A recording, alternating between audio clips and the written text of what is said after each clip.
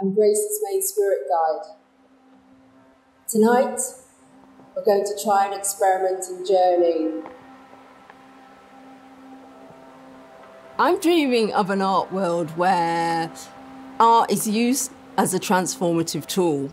It isn't dogmatic, it isn't didactic, it isn't cliche, it's beautiful, it's inventive, it pushes, you know, both the body, the mind, the soul.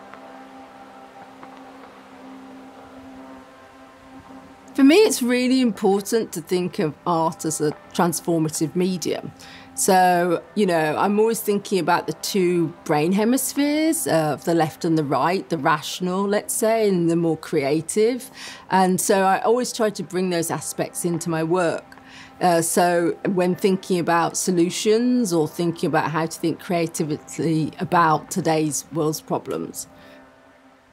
So, for example, in my performance practice, um, I work a lot around using shamanism and uh, meditation to think of new ways to look at things.